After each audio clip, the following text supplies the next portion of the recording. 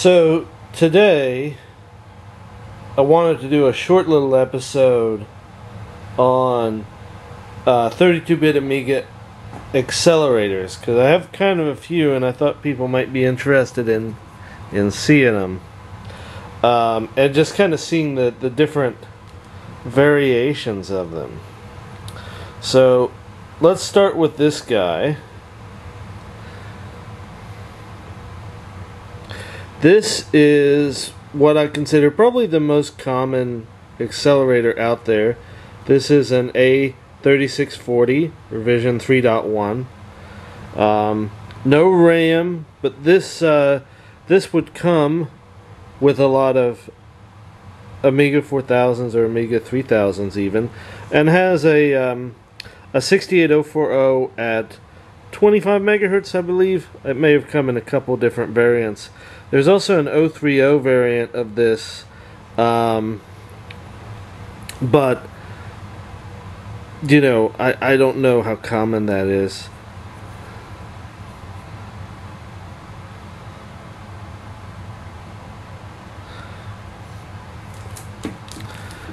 So let me show the next one here.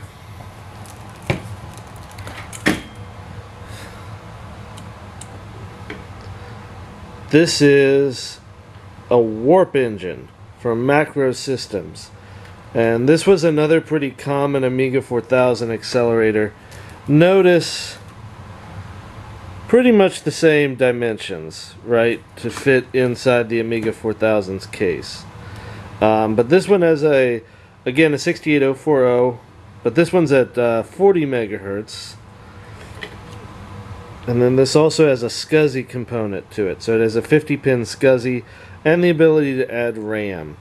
So these are both pretty common uh, Amiga 4000 accelerators. And um, like I say, this one came originally with the 4000 that I'm rebuilding from Software Hut. And then this 68040 came with the, the 4000T that I, brought, I bought from Software Hut. All these accelerators share the same you know bus connector and are pin compatible across all of the 32-bit big box amigas so 3000 4000 and both the tower variants. However not all of them fit. So this this accelerator here and I have to find the labels here. This is from Progressive Peripherals and Software Companies PP&S and I believe this is called the Mercury. And and this board is huge, right? Um, it is a very big boy, especially when you compare it to to these two. I mean, just look and see how much extra space this thing takes up when put side by side with the the A uh, 3640.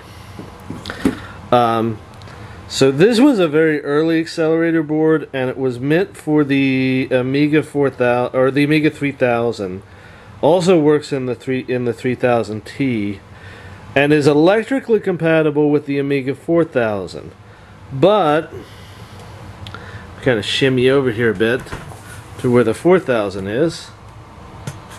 I move my camera here a little bit.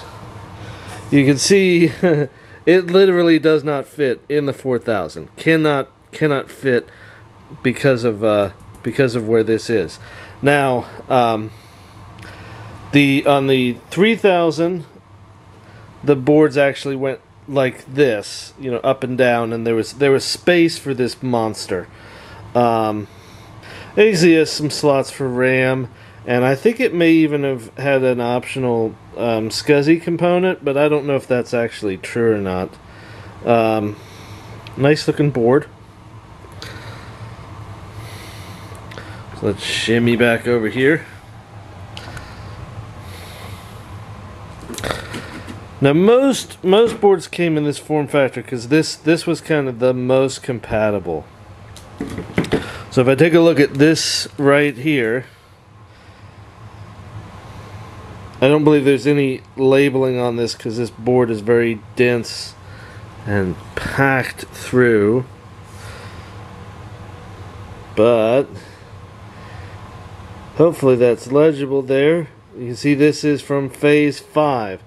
This is the legendary, maybe, um, Cyberstorm Power PC.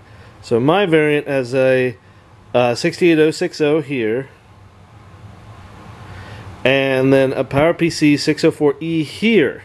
So this is probably one of the most powerful Amiga accelerators that you can get, with some exceptions for the new like, like modern, like BFG 4060 or things like that. Now this this one has two very interesting features. First, over here you can see we've got a wide SCSI bus, very unusual. Most SCSI buses on Amigas, in fact, I believe every SCSI bus except for this one uh, was eight bits. So this is this is uh, or eight bits or narrow SCSI. This is wide SCSI, so it's a little faster, uh, a little bit harder to find devices for. Then there's also a PCI interface here, um, and this was used for a graphics card that I do not have. Maybe I'll get in future, um, and also by the rare as G-Rex boards, which unlike the mediator that I had they were boards that would plug right into this and provide additional PCI slots. So this is a really rare, really powerful kind of obsession level object for I think um, a lot of late 90s, early 2000s Amiga owners. Um, I know I certainly lusted after one, even though there wasn't that much software on it. Um, but now you can run AmigaOS 4, and this is what I'm putting in the, the 4000T rebuild.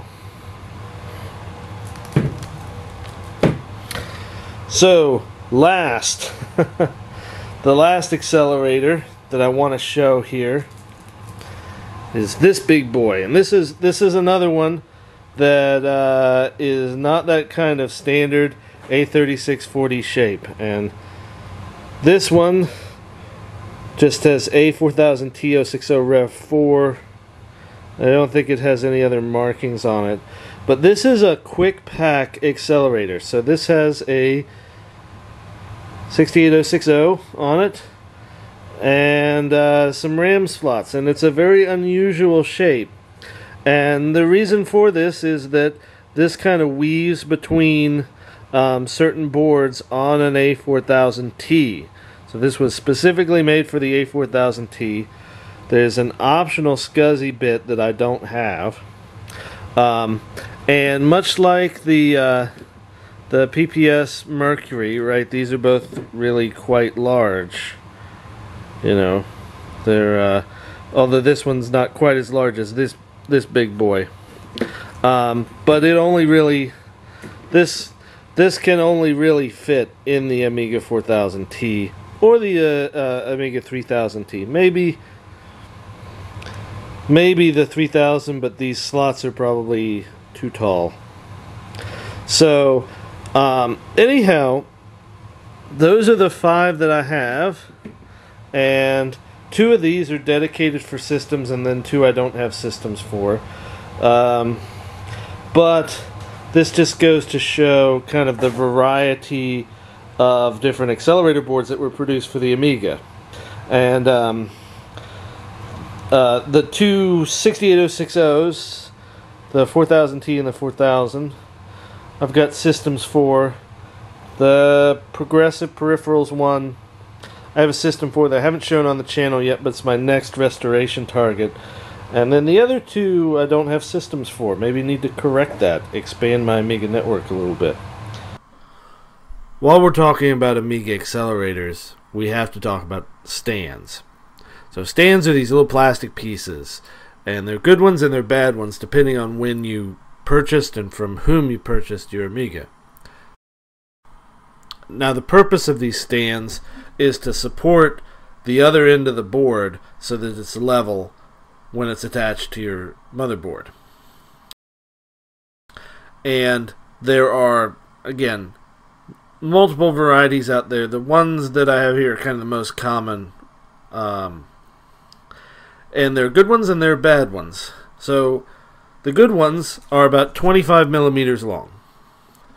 The bad ones are just a little bit longer.